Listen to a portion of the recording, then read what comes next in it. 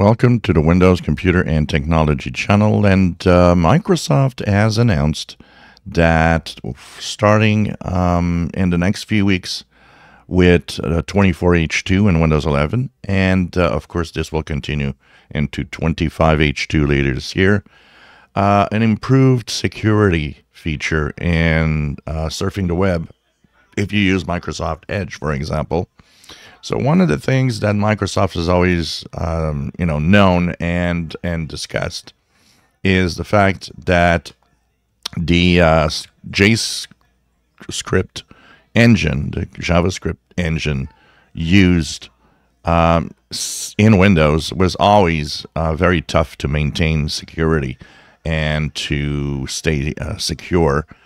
And of course, um, so many times some of the vulnerabilities we had on Patch Tuesday involved fixing a JScript uh, DLL file. Now they are removing this, and a new JScript 9 legacy, as they call it, will be the DLL replacing it.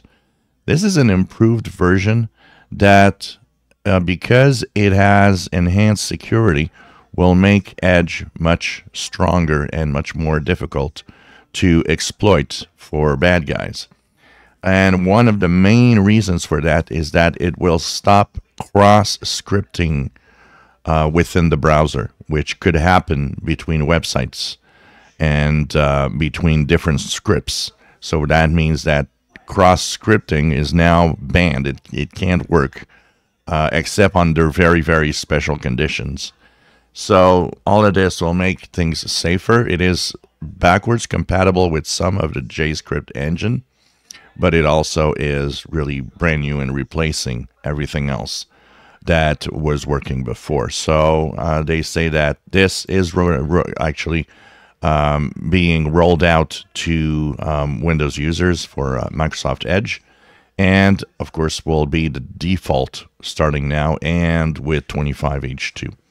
So if you're using Edge and using Windows, enhanced security, I guess we all want that. If you enjoy my videos, please subscribe, give us thumbs up. Thank you for watching.